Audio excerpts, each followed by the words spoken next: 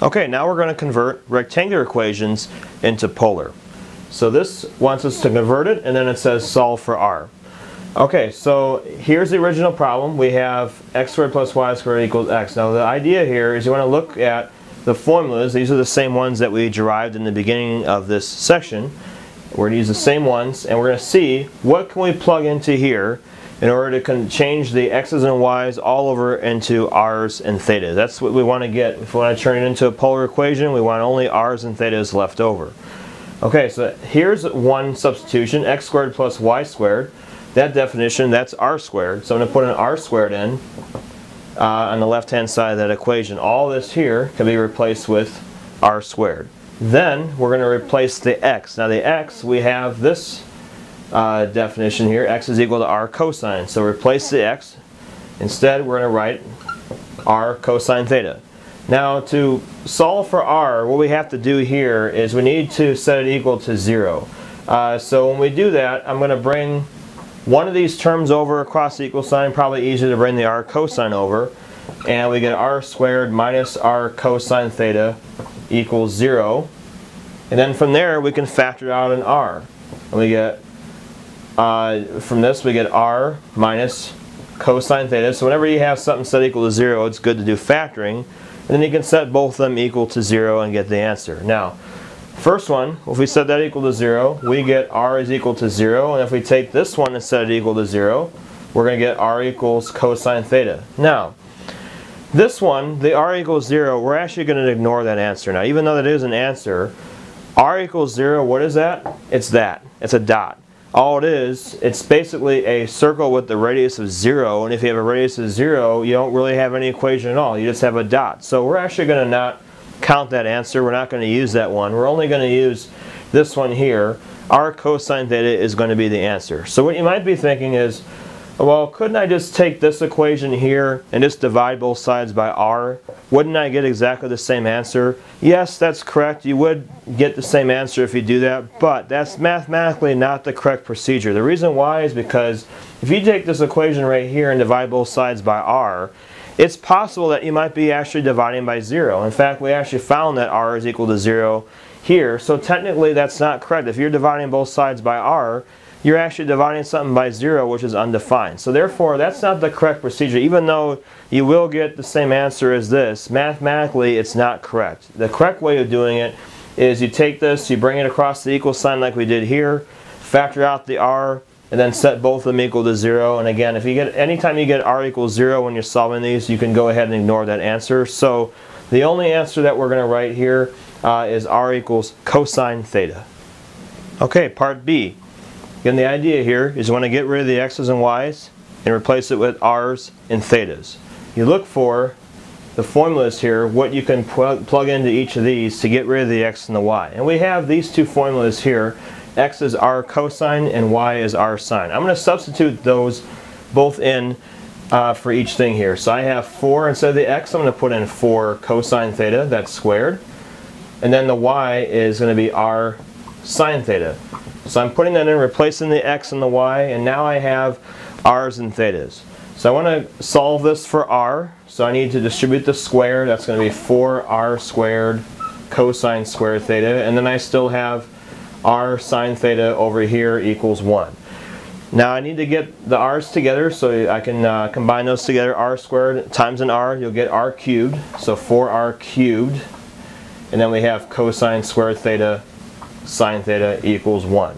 I want to solve this for r cubed. I want to get that by itself. So what I need to do here is a division step. I'm going to divide both sides by 4 cosine squared sine theta. I want to get r cubed by itself. So when I do that, I get 1 over 4 cosine squared theta and then sine theta. That's what I get when I divide both sides by 4 cosine squared sine theta. I want to get the r cubed by itself. Now we're not done yet because we're going to get r by itself.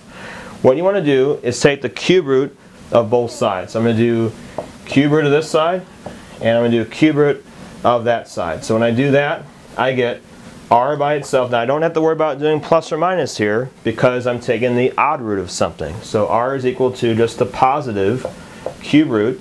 I have 1 over 4 cosine squared theta and sine theta. Now could I do any more with this? Yes, now technically this is actually okay. This is fine because you have it in, this is in, in uh, a polar equation because you have basically just an r and a theta left over. We've solved for r. The only other thing you could do for this one is you could put some identities in for that. So the way you would do that is you can make this 1 fourth times 1 over cosine squared times 1 over sine theta. We're just going to actually separate that into three different equations. You are able to do that because everything is all multiplication. If I multiply all that back out, I get the same thing I started with. And the only reason why I want to separate this is because now I can actually throw in some identities for each one. Uh, so I have 1 fourth, I have secant squared in there for 1 over cosine squared, and I have cosecant in there for the uh, 1 over y, or 1 over sine. So I just put in identities for all that. And this would be as far as you can go. So again, this one right here, it's a cube root. So cube root 1 quarter secant squared times cosecant, that would be as far as you can go if you wanted to put in identities. Otherwise, uh, depends on the, uh, the teacher or the homework program you're using. This answer might be acceptable, but using identities, you'd be able to write as this. Okay, now for part C. Again, what you always begin with is what can you put in for each one.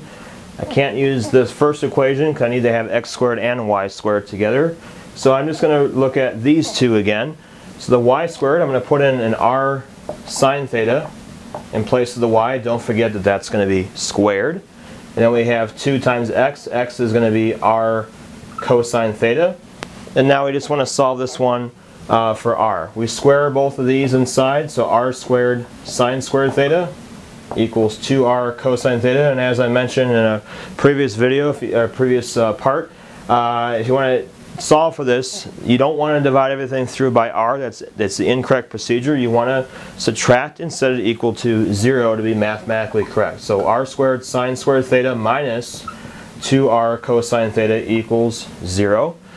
And then that, the purpose for setting equal to 0 is because now you can factor on r, set both of them equal to 0, get the answer. The factor on r, I get r sine squared theta minus 2 cosine theta equals 0. And normally you would set both of them equal to 0. As I mentioned before uh, in a previous part, if you set r equal to 0, that means that uh, that's just going to have a point. So we're not going to actually include that answer. I'm only going to look at the one inside the parentheses. So I want to take, uh, when I solve it over here, I get r sine squared theta minus 2 cosine theta. That's the one only that I want to set equal to uh, 0. So when I do that, I'm going to add the 2 cosine over, and I get this and then I want to divide both sides by sine squared because I want to solve for r. So r is equal to 2 cosine theta over sine squared theta, and I get this.